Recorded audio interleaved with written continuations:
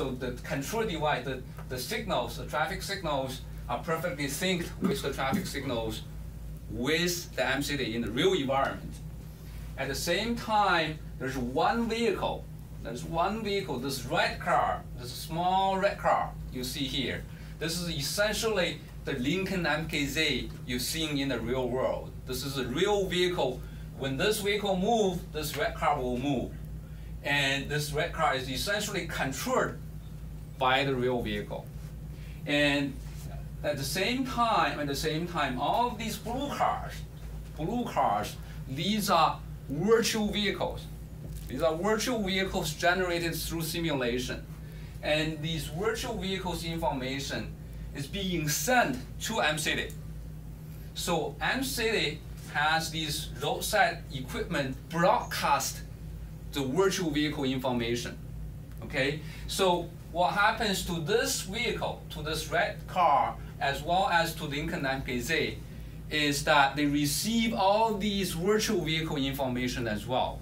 So for this Lincoln MKZ, it's as if they are in the environment that background traffic are actually available.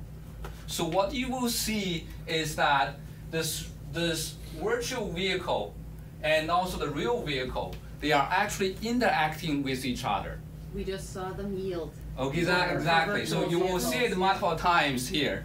And, and then, um, so, so with this, with this capability of interaction between the virtual vehicles, real vehicles, and background traffic, what you will see is you can generate hundreds and thousands of scenarios.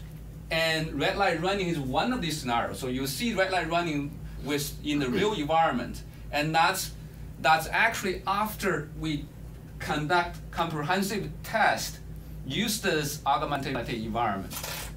We can also generate virtual pedestrian. We can generate virtual trains.